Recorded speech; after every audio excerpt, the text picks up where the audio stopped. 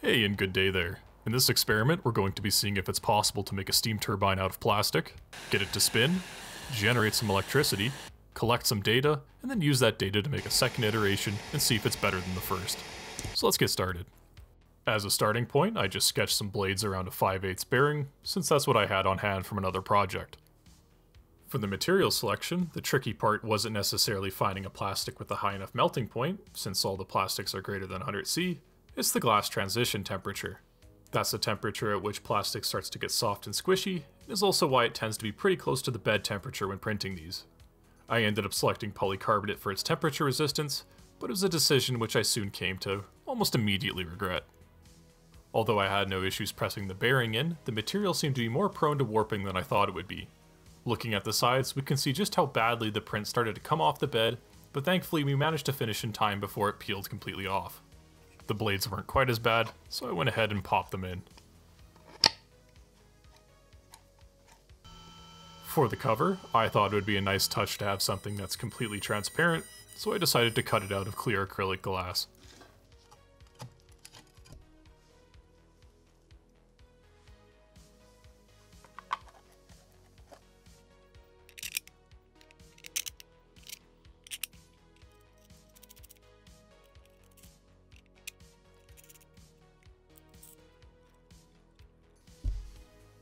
With our first prototype completed, I went ahead and tested it out pneumatically with some compressed air.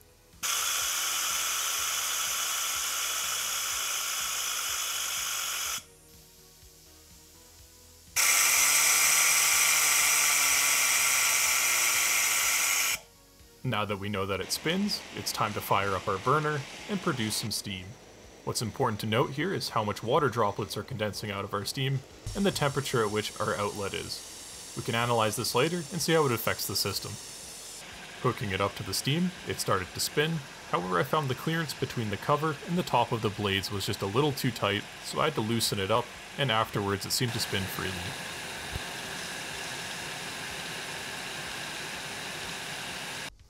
After running it for a few minutes, I opened it up to see how it fared, and overall it seemed to have survived. The only major issue was that I made the walls just a little too thin, and the bottom seemed to warp at the edge. Not wanting to be delayed, I just ripped that part off and continued as if it never happened, which seemed to fix the issue. The next question is can we generate some electricity? So I got a small DC motor and hooked up a coupling to it. However, it appears there is some wobble, which will lead to some shaking issues later.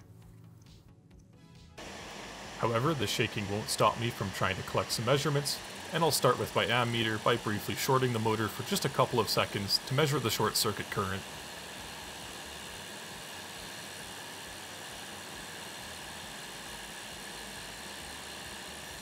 After I was done with the ammeter, I switched over to voltage and collected some information on the open circuit voltage.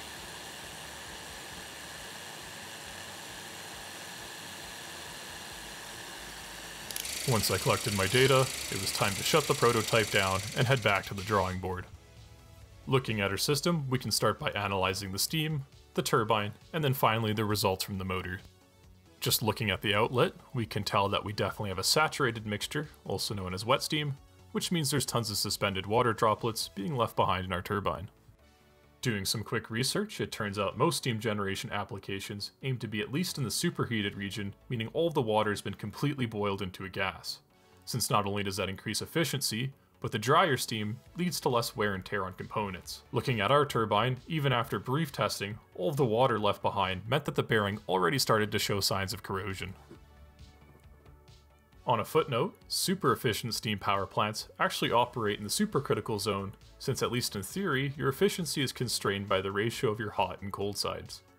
In our case, with an ambient temperature around 20 degrees, and our outlet temperature around 98 degrees, our maximum theoretical efficiency is only 21%. However, you can see if that temperature was able to be pushed up, so would the efficiency. Moving on to the turbine and starting with the inlet, for our low-speed application, a better nozzle design would probably be a converging nozzle, since the narrowing would help to accelerate the steam. Another thing to look at is the clearance between the tips of our blade and the body, since the bigger the clearance, the more steam that's going to leak and not contribute to turning the blade. Speaking of blades, we can analyze the spacing of our blades with the pitch to chord ratio, which tells us how dense our turbine is with the lower ratio meaning there's lots of blades, which will increase energy capture, but will also lead to more drag compared to fewer blades. Depending on the application, the optimal ratio will change, however some of the ranges I've seen when looking into lower pressure applications tend to be around the 0.75-ish, which means for our application, this number could be on the high side. And for the individual blades themselves, when I looked into the shapes used for impulse turbines, they tend to have more of aggressive, kind of a bucket shape to them, since the idea is to try and capture as much of the momentum coming out of the jet. This means, for the second iteration, we could probably do with a more aggressive curve. Size-wise, a longer blade is better for lower RPM applications, whereas a smaller blade will make it spin faster. Although I could get a higher voltage by driving the motor shaft faster, the wobble and unbalanced rotor means I don't plan on increasing the speed.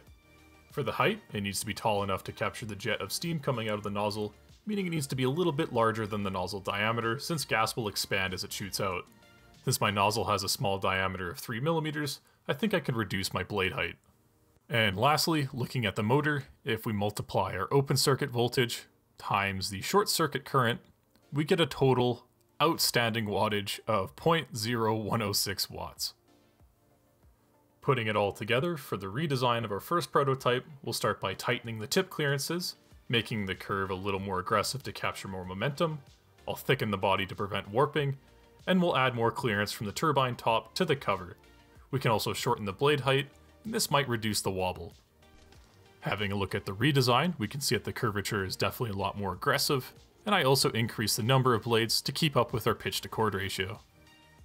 For the body, I thickened it up, and when comparing it to the old one, not only did the height reduce, but we also managed to reduce the warping.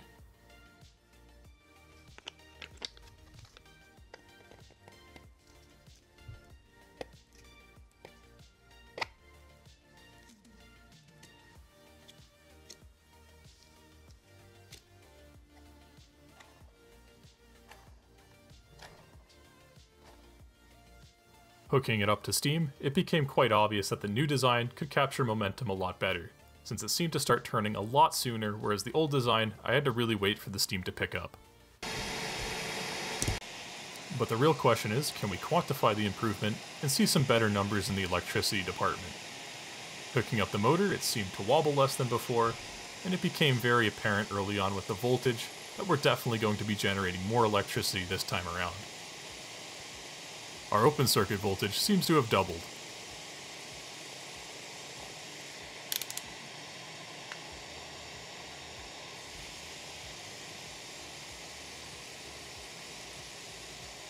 On the current side of things, our short circuit current also seems to have roughly doubled at around 150 milliamps.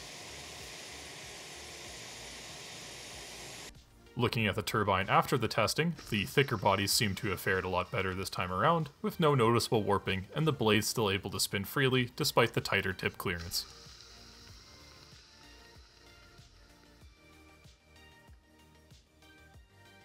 Quantifying our results, we seem to have a peak power of around 0.0431 watts. Compared to our old design, that's about a 4x increase. Overall, we were able to design a turbine out of plastic, get it to spin, redesign it, get it to spin again but better this time, and learn something along the way. So with that said, thank you for watching.